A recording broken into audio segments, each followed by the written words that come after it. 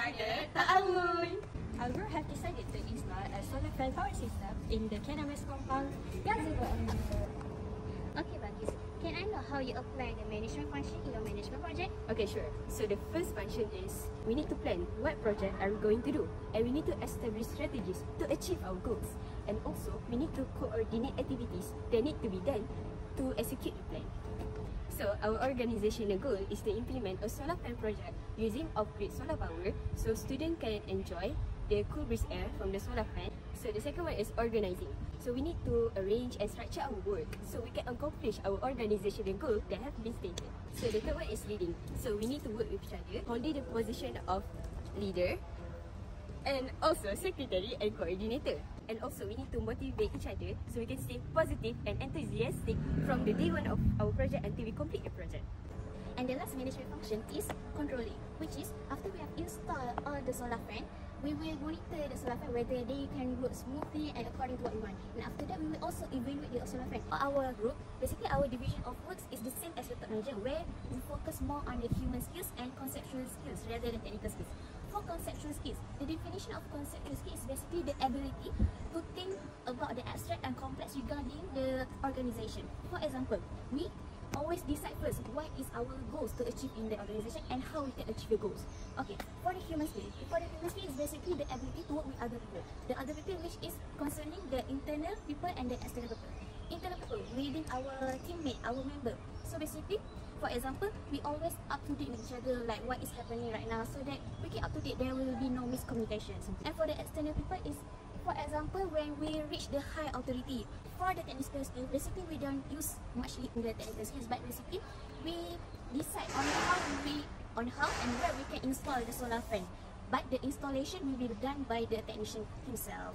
Okay, Miss Group Managerial roles are categorized into three, interpersonal, informational and decisional. I will give you an example. For interpersonal roles, I, as a leader, will guide the team members towards common goals. For informational, please take on the spokesperson roles, communicating project updates to the group members. For decisional, Damia, the negotiation, will interact with the faculty to propose the team's aim.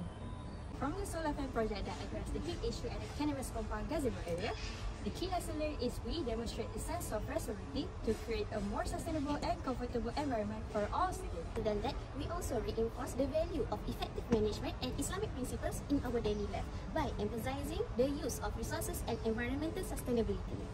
Finally, we need to encourage viewers to actively engage in projects that contribute to the well-being of the community. ربنا آتنا في الدنيا حسنة وفي الآخرة حسنة وقنا عذاب النار آمين رب العالمين Islamic values such as Khalifah, meaning general leadership over all Muslims in the world, responsibility, which means amanah, and cooperation, which means ta'awun, align well with sustainability as seen in our Solar Fan project. Emphasizing environmental care reflects the concept of Khalifa, where humans are leaders of the earth.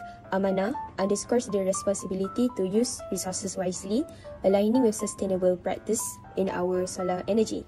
Additionally, Ta'awun, which is our team name, encourages teamwork, fostering collaboration for the common good in advancing sustainable energy solutions. بسم الله الرحمن الرحيم ثم جعلناكم خلائف في الأرض من بعدهم لننظر كيف تعملون